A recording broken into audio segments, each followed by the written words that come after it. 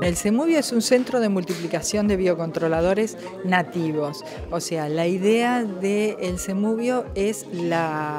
el desarrollo de tecnología para el escalamiento de la producción masiva de enemigos naturales autóctonos y el desarrollo de estrategias de mm, uso en campo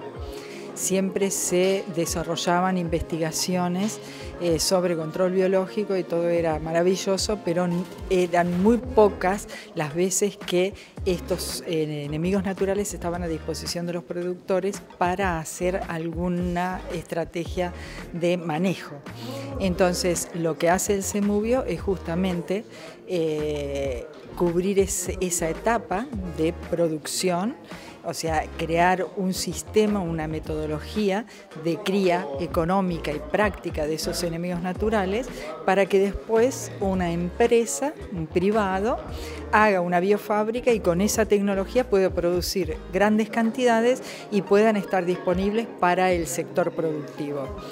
Una vez que esté disponible para el sector productivo, además va a emplear la estrategia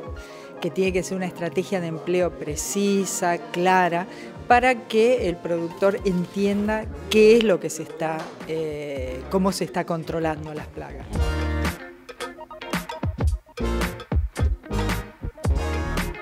Eh, tenemos un enemigo natural que se llama Goñosus leineri, que es una avispita que solamente ataca a las plagas, no ataca a los humanos.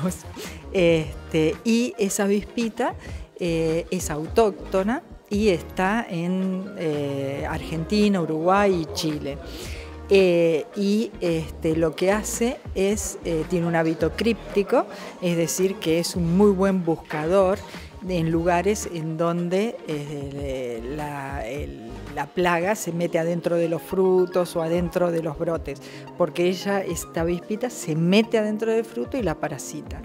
Entonces, este, este enemigo natural puede atacar a Carpocapsa, obviamente que es eh, una plaga clave de varios cultivos, eh, de frutos secos, pepita, básicamente, y eh, grafolita. También este, ataca una plaga que ataca los nogales conjuntamente con carpocapsa, que se llama ectoamieloes.